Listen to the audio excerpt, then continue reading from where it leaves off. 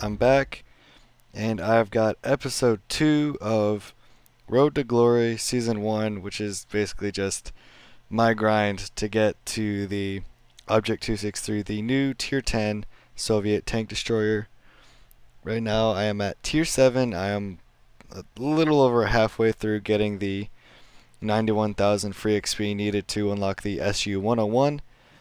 And right now I can tell you the SU-100M1 is, for all intents and purposes, a Tier 7 tank destroyer with the T-54's uh, high penetration, quote-unquote, gun, even though the penetration still is very high for Tier 9. But uh, it's definitely, definitely more than enough for Tier 7. It's basically the T-54's gun, but better. It's got the same rate of fire, same damage, same penetration values, but it is both more accurate and aims more than half a second faster at 0.6 seconds uh, faster than the T-54's gun does. So the SU-100M1 is a DPM monster, and it's got the gun to go through really anything from anywhere it wants to.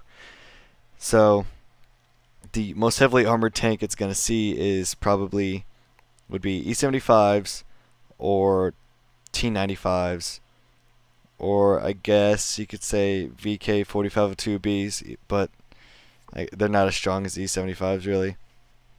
And they've got the gun to go through it with ease. The only downsides to this tank are the superstructure armor, like the superstructure cheeks, I guess, since it's not a turret. The it's it's fairly weak. It's only about 90 millimeters thick, and it's very flat. The whole the whole armor though, the upper glacis, does get about 145 millimeters effective armor unangled, because it is sloped back. But the superstructure is not. So the superstructure is a fairly weak spot, fairly weak weak spot, fairly big weak spot. There we go. English is hard. Um, yeah, that and the gun arc is very small, so you do find yourself if you're leading a target that's moving a long distance away, you're gonna have to turn a lot, and that will affect your aim. I've missed plenty of shots because I fired just after my tank turned a little bit, and so the dispersion went up. So the gun arc going from right to left is very small, and the gun depression that minus 4 degrees of gun depression with the rear mounted gun can and will get you in trouble because even a slight like bump in the ground you will like just jerk your gun up. And it makes brawling on uneven ground very difficult. But you can brawl in this thing with equal tier mediums or lower or like low tier heavies things like that but if it's in a tier 7 game with a lot of tier 7 heavies, you don't really want to be brawling because they've got the guns to go through you, uh, no matter how well you're angling. But, uh, so yeah, that first game on the brand new Winter Malinovka, uh, it's it's still effective for TDs.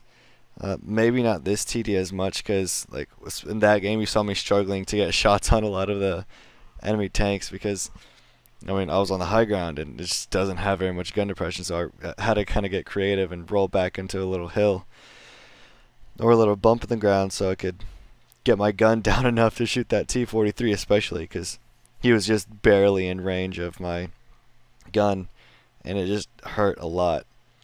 But one thing that two, that Wargaming really screwed up with 2.8 is the profitability of the tanks.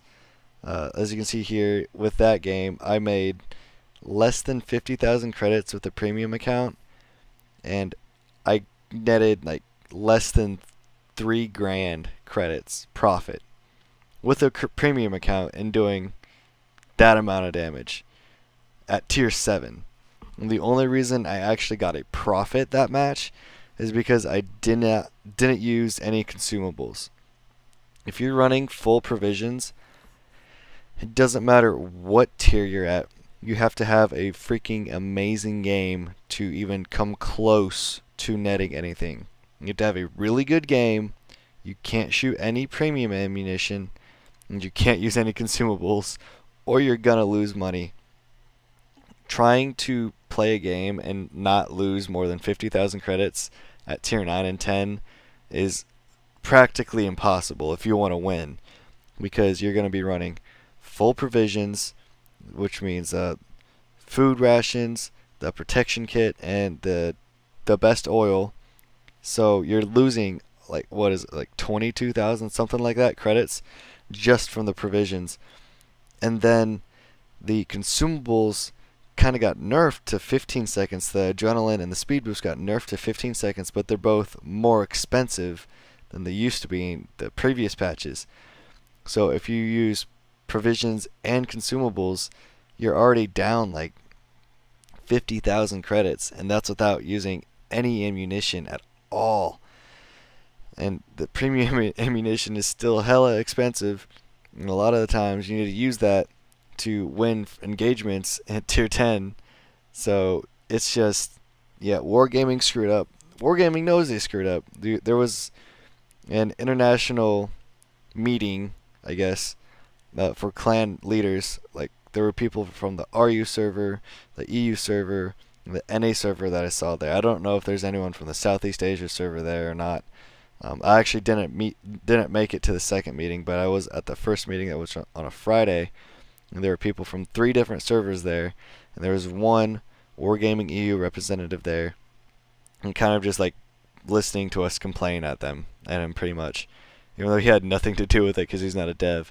It's it's really just the, the developers, the fact that the game doesn't have a way for at least the majority of people, or re really anyone who wants to like super test things. Like, I I get it. It's they've got they're rolling out updates every month, like clockwork, pretty much. And uh, World of Tanks PC does it every like two to four months, so they've got time to do the super test.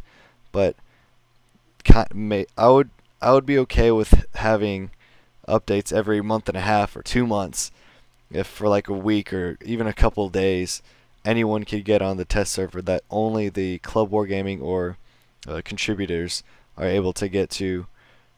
Uh, if everyone could get there for even a couple of days, we would just we would see just the broken mechanics, like the profitability at in patch 2.8, or we would immediately be able to tell if a tank is overwhelmingly overpowered or overwhelmingly underpowered. Like we would see Ke-Ni Otsu's uh, that freaking that tank that's got over 1900 DPM at tier three. It, ridiculous. We, we would have caught that and we were like, oh my god, Wargaming, what are you guys doing? Give me this tank now. And then it'll be like, eh, we screwed up. What can I give it the 9 second reload like the regular Kenny, the tier 3 light tank that's and the, that's available in the tech tree has. But the Ke-Ni Otsu is just completely ridiculous. And we would have caught that if we had the chance to super test things. And we would have caught things like, what was it, patch 2. Point, no, 1.8 maybe?